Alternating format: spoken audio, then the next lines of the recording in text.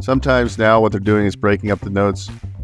The, the real estate would be 25 years, and then there would be a note for the, the business for 10 years. But yeah, we could definitely look at those strategies and more. So you just go to bookwithbeau.com and we could dive into it a little bit more.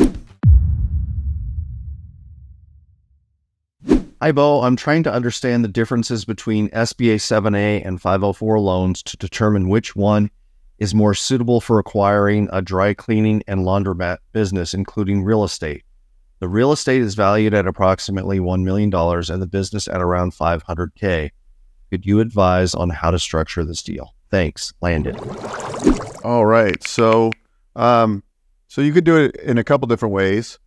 So the SBA 504 only only lends on hard assets like real estate. So they could do, um, well, it'd be considered a special purpose.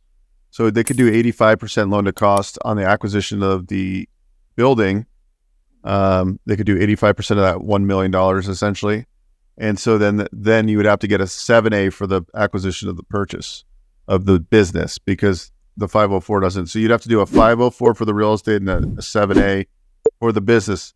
The business, you can get up to 90% financing. You can structure seller financing on a portion of your down payment. So it can be really creative. Or you could just do a 7A, and the 7A would look at the difference between the purchase price of the real estate versus the business. And they could go as high as a 25 year amortization. Sometimes now what they're doing is breaking up the notes. The, the real estate would be 25 years, and then there would be a note for the, the business for 10 years. So or they could do a blended note. So it just depends on how we structure it. But either way would be an option, either the 504 with the 7A or a straight 7A. And we would just figure out what would make the most sense based on the scenario. But yeah, we could definitely look at those strategies and more. So you just go to bookwithbeau.com and we could dive into it a little bit more.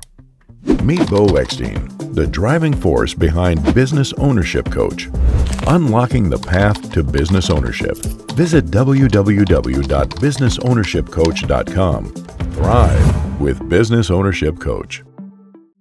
Hey guys, Beau Eckstein here. If you enjoyed what you saw, please subscribe to this channel. We talk all things financing. I've been in the lending industry for over 20 years, and I'm happy to answer your questions and provide great content.